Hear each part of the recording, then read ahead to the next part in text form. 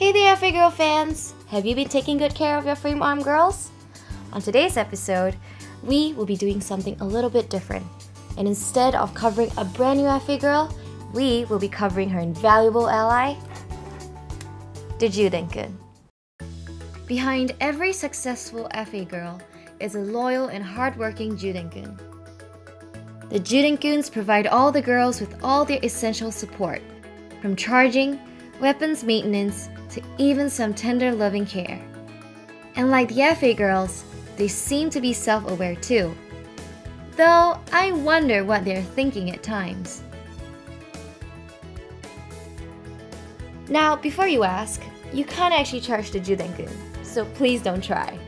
But he can do just about everything else. He may look a little stiff, but actually, he's got plenty of moves.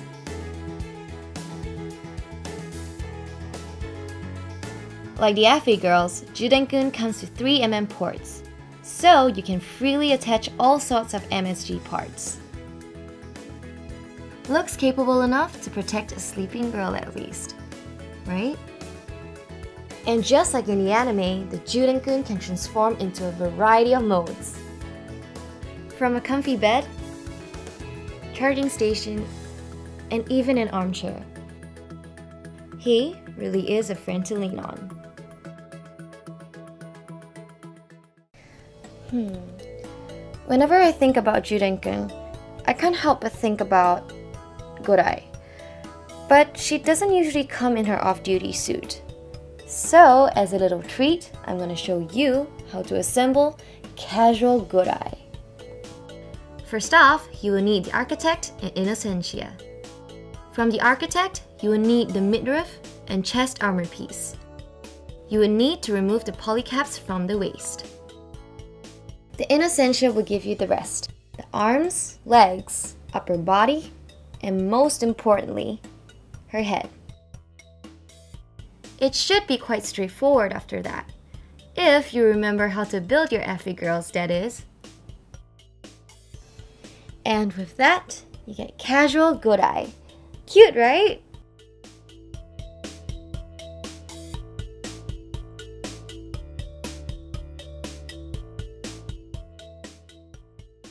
Building custom FA girls can be loads of fun, but getting the right color scheme can be a pain, especially when you don't have an airbrush. So we've gotten Kenny to show us how to paint the Jyuden-kun using only markers and spray cans. So take it away, Kenny.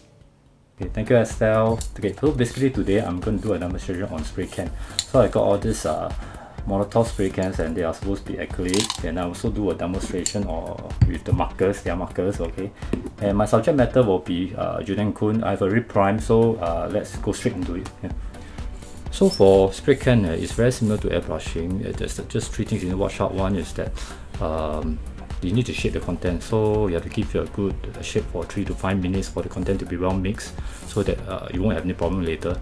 So secondly is the control. So um, what I'm talking about is the nozzle. So when you depress right you have to exert some control. So um, the paint will be even and the flow will be good see. And lastly uh, lastly will be the spraying distance. So uh, the spraying distance is usually between 15 to 20 cm 20 cm being the optimal distance to spray. Okay any closer the paint will become very thick and then the surface will be very rough so we need to watch out for that one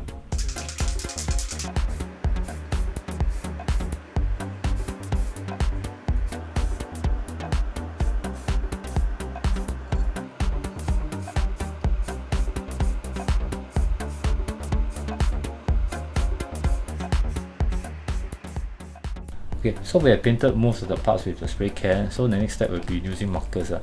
Uh, markers, I've been using markers on all the smaller parts that the spray can cannot reach. Uh, so for markers, uh, the tips are rather thick. So what we do is that I will extract the paint and then put it on the paint dish.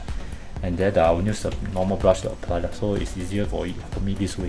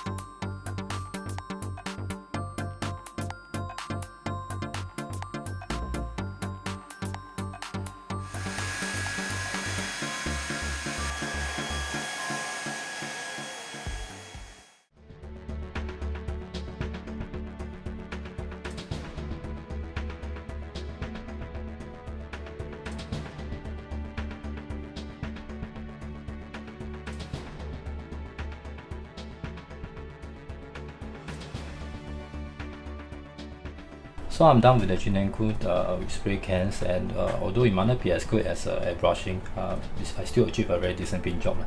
So uh, points to note about uh, acrylic paint is that you cannot paint it over with enamel or lacquer based paint because it will dissolve the paint itself. And uh, um, what I think is that you should learn about the different type of paint you're using and how they react to each other so to prevent uh, any of this mistake you see.